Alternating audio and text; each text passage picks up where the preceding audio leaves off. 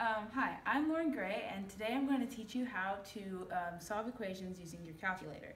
So I know uh, most of the equations I'm going to show you today um, can be easily solved um, by hand, but knowing how to do it in the calculator is a good way to check and make sure you didn't make any mistakes in your calculation. So the main thing to look out for in today's video is um, I'm going to show you how you can get the right view of the graph, um, how to find the intersections, aka finding the solutions, and how to find the zeros in a quadratic equation. So, the first equation that I'm going to start with today is a simple linear equation. It's just 64 equals 8 times x plus 2. So, whenever you solve this by hand, you would distribute the 8, um, subtract the 16, and divide by 8. And you get x equals 6. So let's see if we can get that same answer in the calculator. What you do is you go to y equals, and you have to plug in um, the first value into y1.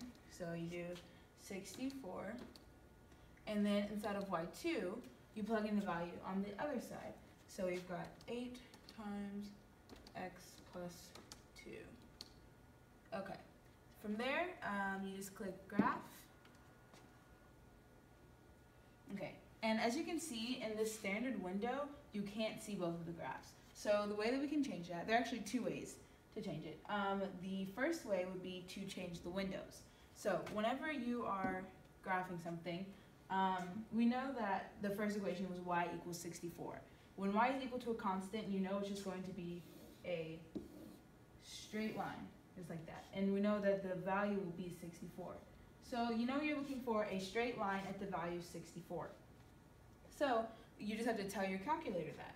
So you have to go to your window, which is how much the calculator will allow you to see of the graph, and you go to y min. So if you know that the line you're looking for is at 64, you'd want to choose a value below 64 to be the minimum thing you can see. So we'll just go with 50. Oh, that's definitely max. Okay, 50. Okay, and a value that's above 64 for your y max can just be 80. Doesn't really matter. Okay, and then now when I click graph, there's my 64, and there's my other equation. So now we see both of the equations, and we see where they intersect. So um, to find the x equals 6, you would go to second, trace, and you're presented with all of these options. And you want to know where they intersect because that's where they equal each other, and that would give you the answer. So second trace, 5. And then you have to choose your first curve, which is the 64 line, your second curve, which is this one, and enter. And you say guess, and it gives you x equals 6 and y equals 64. And that's exactly what you had when you, uh, well, what we had when we wrote it out by hand. So you know we were right. Okay, so um, now the next equation we're going to do is another linear equation, just a simple um, 5 times 2 plus 4x equals 85.